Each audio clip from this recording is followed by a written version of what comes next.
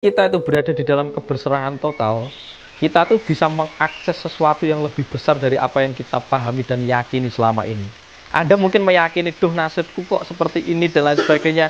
Itu Anda masih tersabotase tentang mental negatif. Tapi nek Anda pasrah, Anda berserah dan melepaskan, Anda tidak membatasi sesuatu yang ada di sekeliling Anda melalui keyakinan Anda sendiri.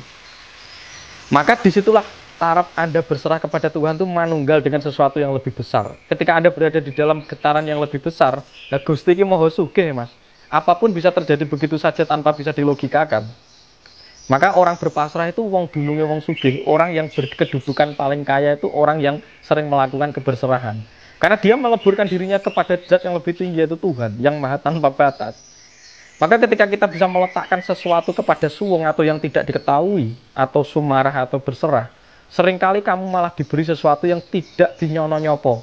Bisa terjadi di area Anda. Tiba-tiba utangnya iso sahur, tiba-tiba iso bisnis lancar, tiba-tiba uripe ketemu konco-konco sing nyenengke, ngerjekeni dan lain sebagainya. Itu karena Anda berserah.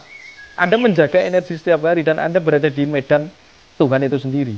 Tapi ketika Anda berada di dalam penilaian, ngerosor rumongso terus menerus membatasi diri Anda dengan keyakinan-keyakinan dan apa yang Anda ketahui, ya wes kowe mempersempit dirimu sendiri menjadi lebih parah nanti jatuhnya kamu akan menarik sesuatu yang sesuai dengan apa yang kamu bataskan kepada dirimu itu gitu loh kira-kira begitu jadi kalau memang orang itu bisa berpasrah berserah ya sudah dia mengizinkan Tuhan bekerja saat jenengan berserah itu jenengan menjadi diri anda yang sejati anda bukan emosi, Anda bukan pikiran, Anda bukan tubuh yang ada. Anda adalah higher self, diri yang lebih besar di dalam diri Anda. Ya Tuhan itu sendiri.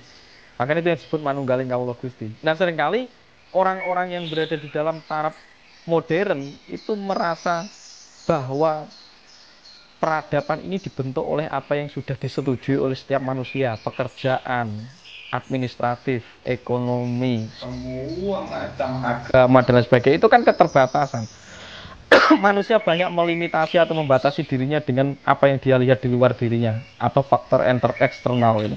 Ketika dia banyak melihat sesuatu di luar dirinya, dia akan mengidentifikasi atau mengidentitaskan dirinya sesuai dengan apa yang ada di luar dirinya. Dan semakin dia terjebak sebagai manusia identitas, semakin dia terbatas. Apa-apa ini serba kurang, Mas. Akhirnya kegedean angen-angen. Ketika kegedean angen-angen, dia menjadi manusia yang tersesat. Penderitaan lahir ketika dia tidak sadar bahwa dia disabotase oleh angen-angannya sendiri. Kira-kira begitu. Akhirnya orang-orang urip bersyukur, tidak ada hidup yang bersyukur dan merasa berlimpah. Karena setiap hari merasa kurang terus. Ketika merasa kurang terus, maka Gusti akan memberikan pantulan yang sama. Karena yang kamu dapat hanyalah kekurangan terus ketika kamu merasa kurang. Kira-kira begitu, Mas.